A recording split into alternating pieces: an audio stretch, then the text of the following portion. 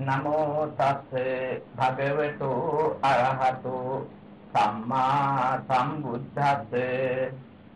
අතිපූජනීය මහා සංඝරත්නයේ අවසරයි සද්ධා බුද්ධ සම්පන්න පින්නතිනි පින්නතිනි පින්වත් දර්ශරියනි අද අප බලාපොරොත්තු වන්නේ සත්‍විස් බෝධිපාක්ෂික ධර්ම පිළිබඳව විග්‍රහ කිරීමේ තමත්යෙන් పూర్ව භාග නුවණ පහළ කරගත යුතුයි. අන්නේ పూర్ව භාග නුවණ පහළ කර ගැනීමට අනිත්‍ය දුක්ඛ අනාත්ම කියන මේ ත්‍රිලක්ෂණය අවබෝධ කරගත යුතුයි. අන්නේ නිසා අනිත්‍ය කියන ධර්මතාවය අපි විග්‍රහ කළා. දැන් අපි බලාපොරොත්තු වෙනවා දුක්ඛ කියන ධර්මතාවය ධර්මානුකූලව විග්‍රහ කරන්න. දැන් මොනේ තේරුම් අරගන්න ඕනේ දුක කියලා වචනයක් අපේ මේ ලෝක සම්මතියේ තියෙනවා. මේ දුක මොකද්ද? බුදුරජාණන් වහන්සේ දේශනා කරපු ගැඹුරින් දැකිය යුතු දුක මොකක්ද? මේ කාරණයක් හොඳින් තේරුම් ගන්න ඕනේ. ඉපදෙනවා දුකයි, ජරාව දුකයි, වැහැරෙනවා දුකයි, මරණය දුකයි, අප්‍රියයන් හා එක් වෙන එක දුකයි, ප්‍රියයන්ගේ වෙන් වෙන එක දුකයි, කැමති යමක් නොලැබෙන එක දුකයි. මේ මේ ආදී වශයෙන් අපි දුකක් ගැන කතා කරනවා. මේ කතා කරන දුක අපි බෞද්ධ නොවන කෙනෙක්ගෙන් අහුවොත් මේ ගැන ඔබලට මොකද හිතෙන්නේ කියලා. එයාත් ඒ අවස්ථාවේදී කියන්නේ අපිටත් දුකයි කියලා පේනවා. ඔවා සැපයි කියලා අපි නිකමනේ කරන්නේ. එහෙම කියනවා. අපි ඒක නෑ කියන්න බෑ. ආරවා පිළිගත්තේ නැති කෙනා කියනවත් එයාත් ඔය ටික කියනවා. දෙදෙන එක සැපද දුකද කියලා හෙව්වොත් ඔහු කියනවා දුකයි කියලා. බැරෙන එක අතපය කැඩෙන එක සැපද දුක දැවුවොත් එයා කියන අපිටත් ඒක පේනවානේ දුකයි කියලා. එහෙනම් ඒ දුක දැක්කේ කොහොමද? ආර්ය විනී දුක දකින්නේ කුමකින්ද? ලෝකයා දුක දකින්නේ කුමකින්ද? මෙන්න මේ දෙක හොඳින් තේරුම් අරගන්න ඕනේ. කොහොමද දුක දැවුණා කියලා කියන්නේ? ඇයි මට පේනවා දැනෙනවා. මේ විලා දකින්න. අදන හැටි හැපෙන හැටි දුක් වෙන හැටි දකින්න. ඇහෙනවා. ওই තුනේ මට පේනවා දැනෙනවා. ඒ තුනේ මම මේක හඳුනනවා. මේ අදහස දෙනවා. එහෙනම් දැනීමයි හැඳිනීමයි ඇති කරන්නේ වේදනා සංඥා කියන චෛතසික තුලින්. අර ප්‍රඥාව ඇති කරන්නේ ඊට වඩා ගැඹුරු වන ප්‍රඥා චෛතසිකයේ තුලින්. එහෙනම් බුදු පියාණන් වහන්සේ දේශනා කරපු දුක්ඛ දුක කියන්නේ මොකක්ද කියලා ත්‍රිලක්ෂණයේ දුක්ඛ දුක්ඛ ලක්ෂණේ දැනගන්න ප්‍රඥාවෙන් දැනගට යුතු දුක්ඛ ලක්ෂණේ තේරුම් ගන්න ඕනේ. එහෙම නැත්නම් අපිට හැමදාම සිද්ධ වෙන්නේ අර ලෝක සම්මතියේ ලෝකයා දකින වේදනාවෙන් සංඥාවෙන් ඊටකර ගෝචරයෙන් දුක දැක දැක ඉන්න නිසා අපිට කවදා ත්‍රිලක්ෂණයේ පෙන්නපු දුක්ඛ ලක්ෂණේ දැක ගන්න බෑ. එහෙනම් කොහොමද මේ දුක්ඛ ලක්ෂණය අපි වෙන් කරලා තේරුම් ගන්නේ? අන්නේ නිසා තමයි කියේ දුක්ඛම් භයක් තියෙන්නේ. දුක කියන්නේ භයාර්ථයෙන්. මේ ආර්යයේ දුක කියන්නේ මේ ලෝක සත්‍ය අඳාඳා කඳු වෙලන දුක්ඛාර්ථයෙන් නෙමෙයි. ඊට වඩා කවුරු පැත්තක්. සැප දුක හැටියට දකින්න කියනවා.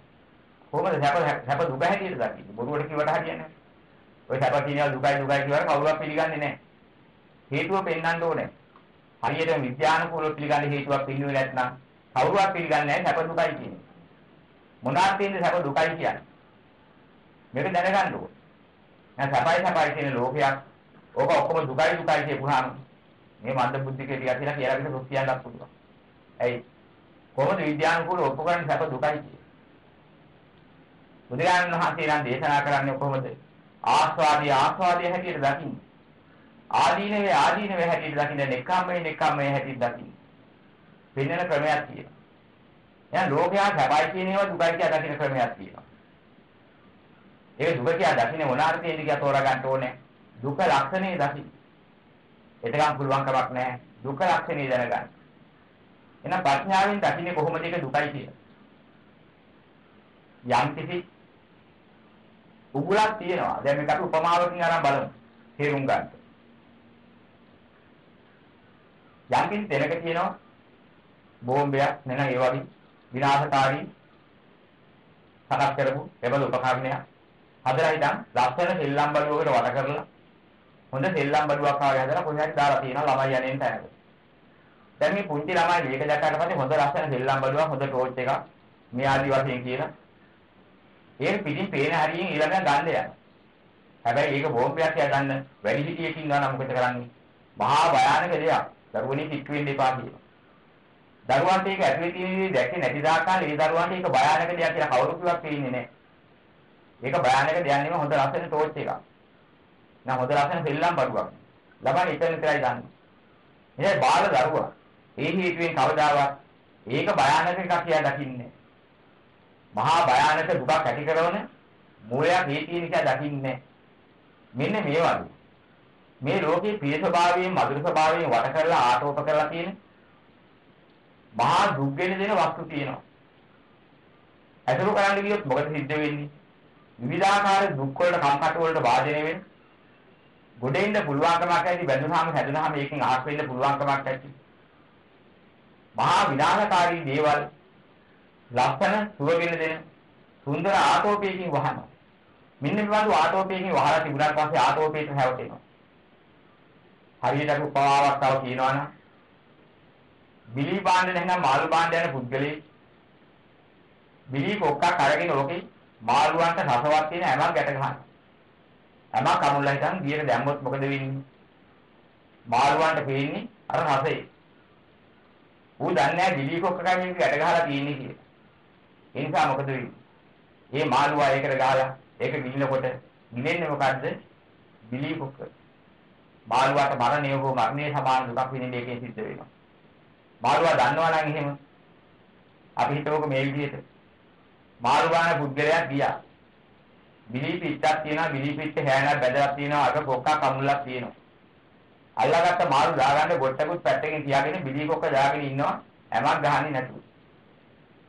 මාළුවාට විනාශකාරී වෙන භයානක වස්තු ඔක්කොම එතන තිබුණා හැම නැති නිසා එක මාළුවෙක්වත් අහු වෙන්නේ නැහැ.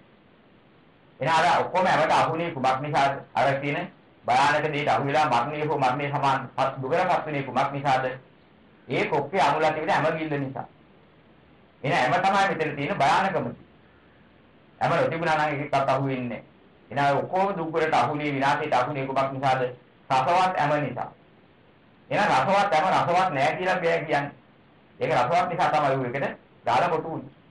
හැබැයි දැනගන්නවා නම් මාළුවා මේක බිලි කොක්කක අමුණලයි තියෙන්නේ. මේ රසවත් හැම ගිලින්න ගියොත් මේ කොක්කේ ඇවිදිනවා කියලා දැනගන්නවා නම් මේ රසවත් හැම මහා භයානකයි කතරවත් යන්න එපා කියලා නිගමනයක් කරනවා. උට එහෙම නුවණක් නැති නිසා තමයි ඌ එක ගහලා කොටු වෙලා මරණයටපත් වෙන්නේ. මෙන්න මේ වගේ ලෝක සත්‍යය පංචකාමී නැමැති යමක් ගහලා අරට ගහලා කොටු කරලා තියෙන මහා දුක්ඛන්දරාවක් තියෙන. මෙන්න මේ මහා දුක්ඛන්දරාව තමයි අපි කෙලවරක් නැතුව වෙහෙස වෙවි ගොඩනගන්නේ. ආස්වාද හොය හොයා ගොඩනගන්නේ. මෙන්න මේ පංචකාමී නැමැති යම ගහලා තියෙන ගොඩවල් තමයි කුණු ගොඩවල් තමයි මේ ලෝකේ හැමතැනම තියෙන්නේ. අවදාවත් මේ ලෝකේ ප්‍රිය ස්වභාවයක්, මధుර ස්වභාවයක් කුණු ගොඩකින් අහ කරලා වෙනම දෙන්න පුළුවන් කමක් නැහැ. දැන් මේක අපි හරියාකාරව දැනගන්න ඕනේ. මේ දුක්ඛ ධර්මතාවය හරියට තෝරා ගන්න. දුක්ඛ කියේ මොකද්ද? බය විය යුතු දේවල්. දුක්ඛම් බයක් තියෙන කියන්නේ ඒකයි. දුක්ඛම් දුක්ඛ තියෙන කිව්වේ නැහැ. දුක්ඛම් බයක් තියෙන. අන්න ආර්යෝ බය බය වෙන ආකාරය දැනගන්නවා. කුමක් නිසාද? මනවදන පිය ස්වභාවය ඇති ආස්වාදයෙන් දෙන්නා වූ දේවල් මේ ලෝකේ දිනා මනවදන රූප මනවදන ශබ්ද මනවදන ගන්ධ මනවදන රස මනවදන පොට්ටබ්බ මනවදන ධර්ම. මෙන්න මේවා අතුරු කරන්න. ලෝක සත්‍යය හරි කැමති. හැබැයි හැම එකක්ම රූප මනවදන ස්වභාවය තියෙන්නේ රූපවල ශබ්ද ගන්ධ රස ආදී තියෙන්නේ අසකාර දිවනාසී ශාරීරිය මන කියන ඒවා තියෙන්නේ.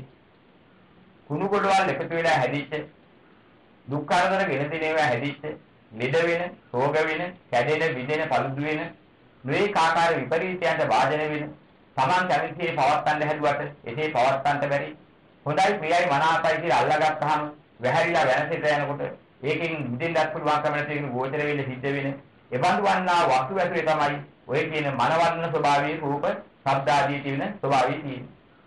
මෙන්න මේ ස්වභාවය නිසා ලෝක සත්‍යය ප්‍රියයි මනාපයි කියලා ගන්නෙ මොනවද? ඔන්නේ මනවදන ස්වභාවය. ඒ ටික නොතිබුණා නම් එහෙම ලෝක සත්‍යය මේ ලෝකේ ඇලෙන්නේ නැහැ. බුදු පියාණන් වහන්සේ දේශනා කරනවා ලෝකයේ ප්‍රිය ස්වභාවයක්, බදර ස්වභාවයක් නැද්ද? එහෙනම් ලෝක සත්‍යය මේ සතර හැරිසරන්නේ නැහැ.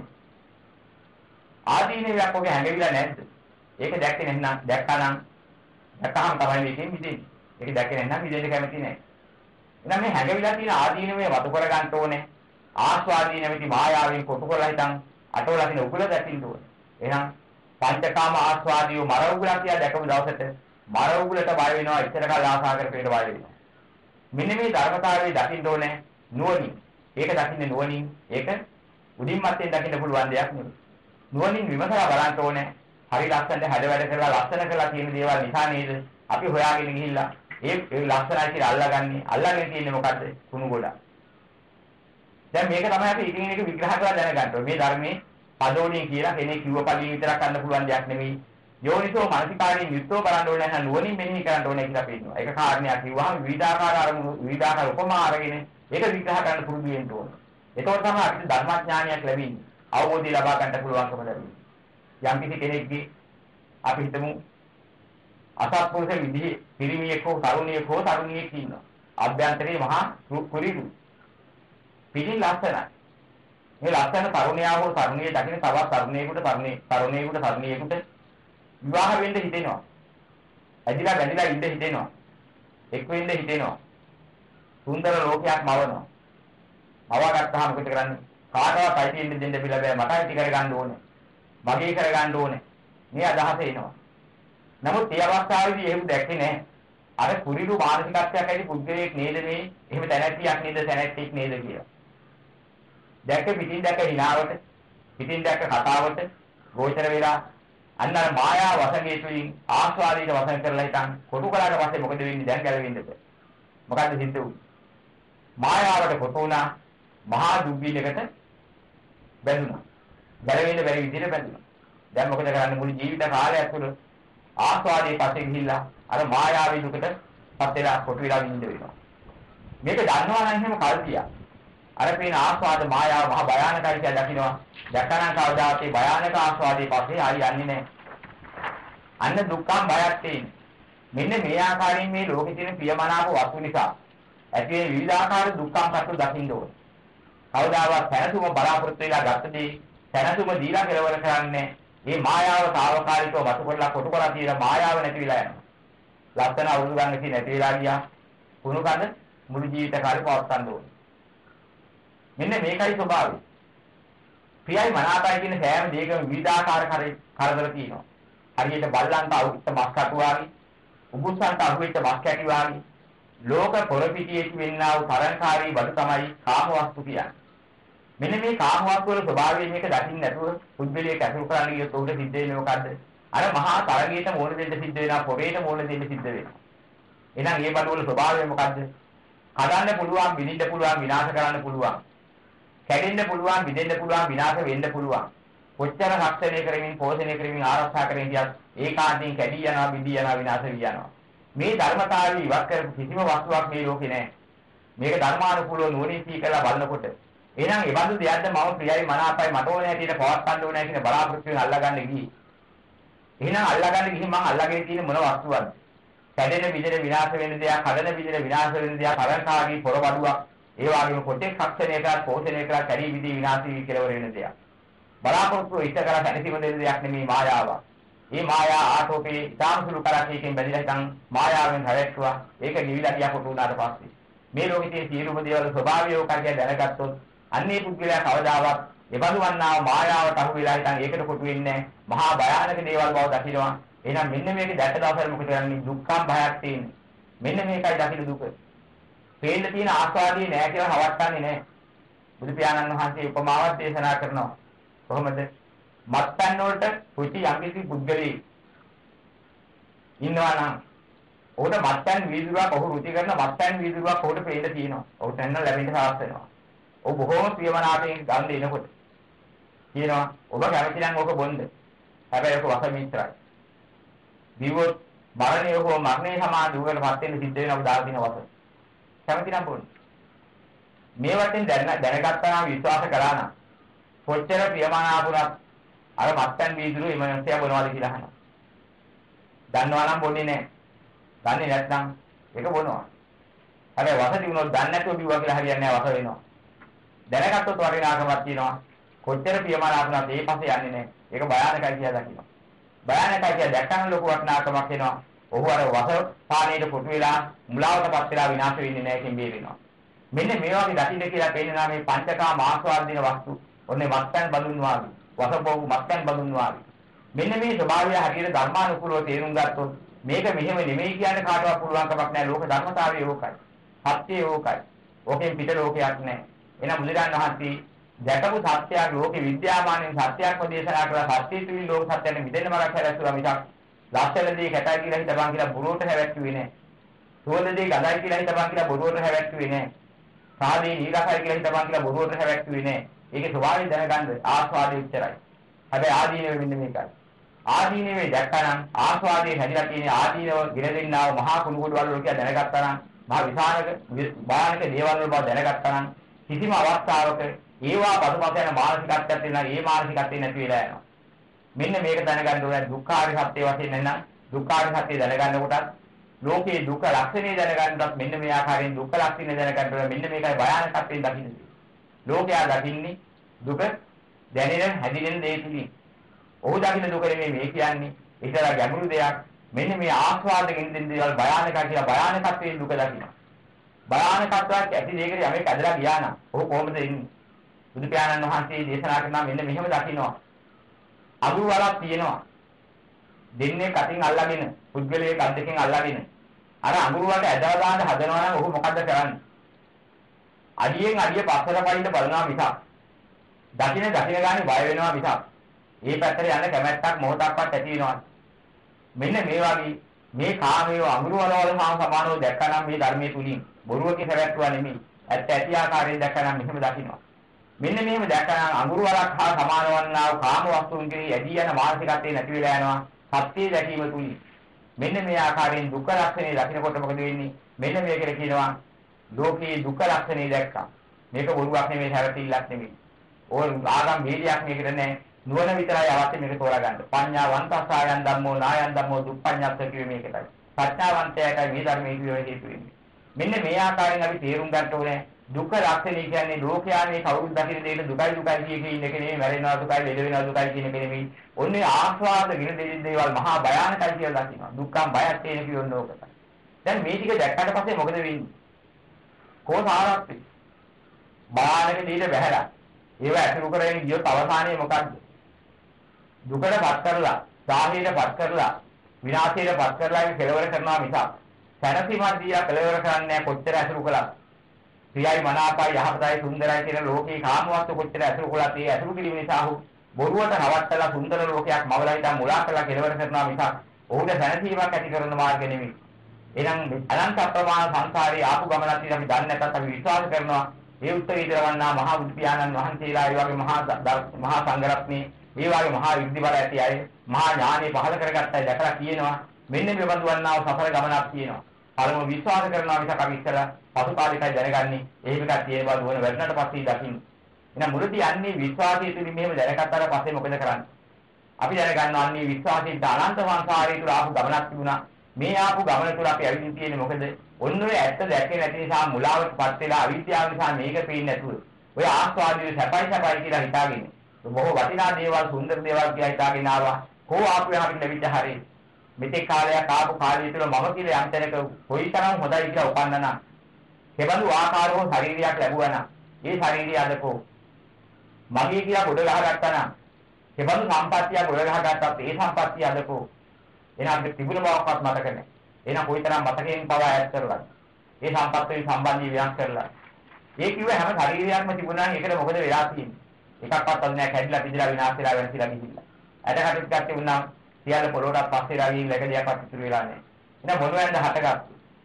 ධාතු හතරකින් ගොඩනැගිලා ධාතු හතරට ගෙවිලා ගිය ශරීර මිසක් තව දෙයක් එතන දකින්නේ නැහැ. මෙන්න මේක දැනගත්තාම දකින්නවා.